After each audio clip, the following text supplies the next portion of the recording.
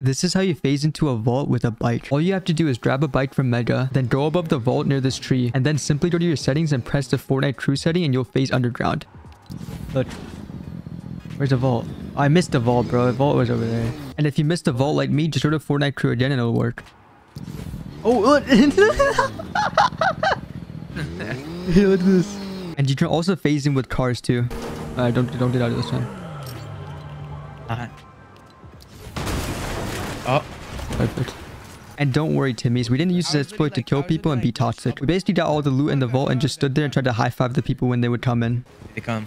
I'm muting for your He's video. coming, he's coming, he's coming, he's coming. Oh my god. Look at him. He's gonna be so confused. Look at him. Like, why? Oh my god, he killed the height! That's they eh? get. Oh shit.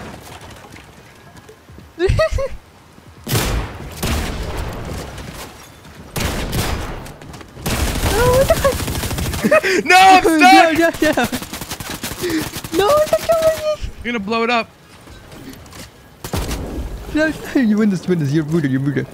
Oh, No! No, just try it. And obviously, don't do this glitch because it could be bannable. I only did this to make this video and to show Epic with the neither fits. And the two people my teammate killed, I ended up adding, and they're both cool with it. So please don't cry in my comments like this guy, Timmy's.